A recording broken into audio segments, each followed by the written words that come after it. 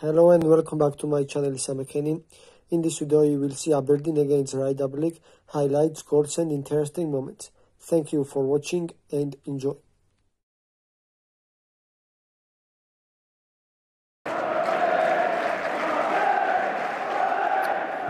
Glass þjálfari og við mitt fyrir sem sem var stildinni og verið þrælöflugir hér er Considine Rík liftir bóltanum vinna fyrir Damir á að hafa þetta og gerir það.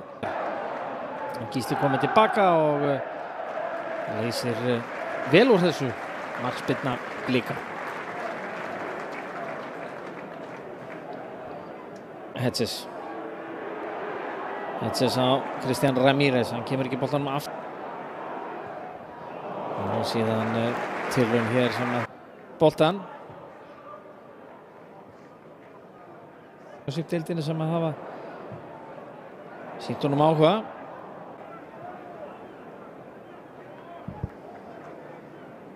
Þetta ekki búið. Átni Viljánsson og Viktor Karl í dauðafæri. En hann sittur hann fram hjá.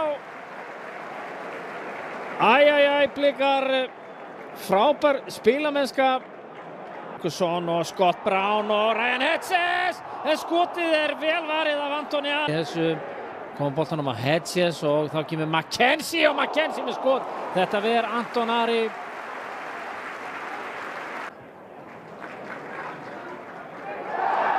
Og Kísli hér er síðarhóllugurinn Hafinn.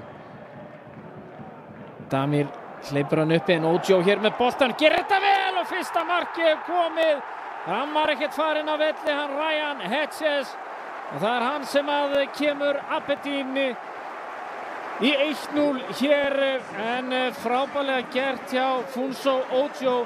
Damir var búinn að ja, ná boltanum á honum. Og frábær spilamennska og hér er Ferguson en skotið framhjá og þarna sleppa blikarnir með skrekkinn.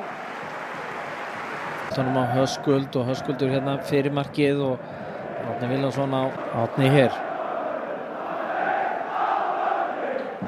Viktor Karl liftir boltanum inn á tegin og Átni Viljánsson er mættur þarna en Ferguson og Hedges hann er í hælsendingunum Viktor Karl. Og hér er færi og skot og mark! Þeir eru búin að jafna Gísli Eyjólfsson. Frábær skot hjá Gísla. Og blikar er ekki að baki dotnir hér í Abedín látt Viktor Örn sendi hérna aðeins og hér er tækifæri fyrir Hedges en skotið beint á Anton Ara.